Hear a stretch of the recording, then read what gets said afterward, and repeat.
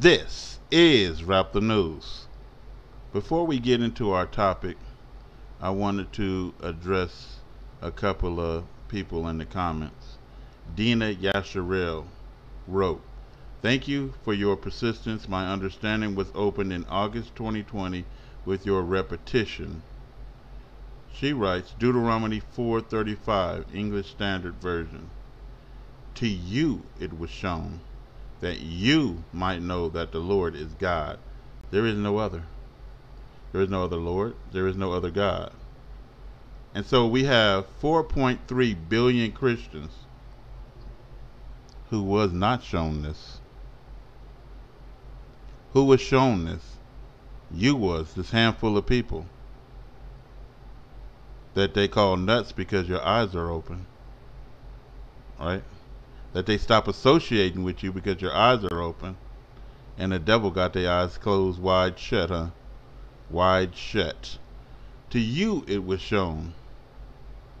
4.3 billion Christians are blind. It was not shown to them that you, you handful of people, you remnant, might know that the Lord is God, not Christ. God. There is no other. Awesome, awesome comment. Spencer Davis writes, Thanks and praises be to the Most High, living God of Israel. Him alone will I serve. Brother Rap, thanks for opening my eyes three years back. All praises to the Most High God. Shalom. And so he left a message inside this message, and it said, The living God of Israel. You got to think about that because they're serving what? Christ, who is what? The first begotten of the dead. And God said, What? We don't hear the dead, we hear the living.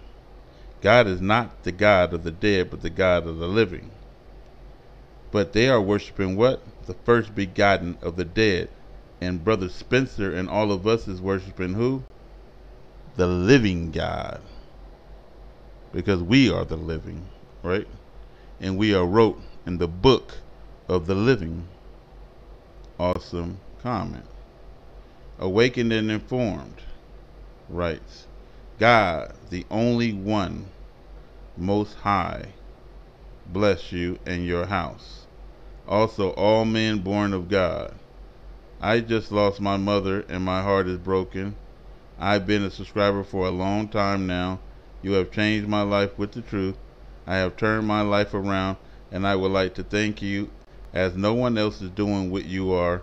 I've been trying to tell people the truth, but they think I'm nuts. But that's okay. I know now it's true. What's really doing my nuts, my nut in is my mammy. I've been laid to rest, or my mother has been laid to rest on Thursday, and I don't want to put a step inside a church. I don't know what to do. So, even if you have to do it by a church, you have to be the person ministering, not them. Because you know the truth and they will be lying during your mom's funeral and you don't want that. God don't want that and your mother don't want that. And so you have done your mother an honor, and I'm gonna I'm gonna show you why. God said, "You shall know them," and that's your mom, by their fruits. You are your mother's pride and glory, and you are her first fruits. A good tree, a bad tree don't produce good fruit. If you are believing in God, and that's what you wrote, the only one most high, you are a good fruit. And you are your mother's good fruit. And maybe you might be the only one. And so your mother's tree have produced good fruit in the eyesight of the Most High God. And so you have become a blessing in life and death for your mother. With that said, let's get into our topic unworthy. And that's unworthy God. Question Who is Jesus in the Bible? They say he's God. They say he's the Son of God, right? And they say he's the Son of Man, right? If he is God, then why is God coming to destroy the Gentiles, the sinners, and the ungodly, and the prideful off of this earth, and he coming to save them? Somebody lying, huh? So you got one person coming to save the ungodly. You got another Christ just coming to the lost sheep of the, the house of Israel, right? One is obeying the Most High God, doing the laws, and the other one is just doing itself, right? And just like I said, and you got 14, uh, 4.3 billion Christians that's deceived. The Bible claims Jesus is in fact God. Would, would God say he the son of man? God said he is not the a man or the son of man. Right? Then we know he ain't God. But this book is saying what? He God in three different verses right here. John 1:18 No one has ever seen God but the one and only Son, who is himself God. The one and only Son is the Son and himself God. So he's seeing himself. Was he looking in the mirror? He was taking a selfie? This totally don't make sense, huh? And there's different translations. If you look at all the translations are pretty much different. John 1 number 1. In the beginning was the Word. They saying Christ is the Word and he was there in the beginning before God. And the Word was with God. Showing you that it's two different entities. And then the Word was God trying to take two entities and make it into one while they saying three bear record, right? The, the Father, the Son, and the Holy Spirit. If why you mention the Father first and, and then in here you're mentioning Christ first. Right? He was with God and he is God. God was with himself. God was praying to himself. God was saying, worship one part of me. Uh, y'all, this is how you pray. Our Father was in, is in heaven. So God is telling Himself to say, this is how we pray. We pray to ourselves. Some insanity, man. Looking for that blessed hope, Titus 2.13. The appearing of, in, of the glory of our great God and Savior, Jesus. So we know that's blasphemy but yet 4.3 billion Christians believe in that blasphemy. Then the Bible states Jesus is not God. Let's get into that. John 17:3 Now this is eternal life that they know you the only true God and Jesus Christ and is an addition whom God have sent. How can God send himself? and then himself say, Well, the one that sent me is the only true God.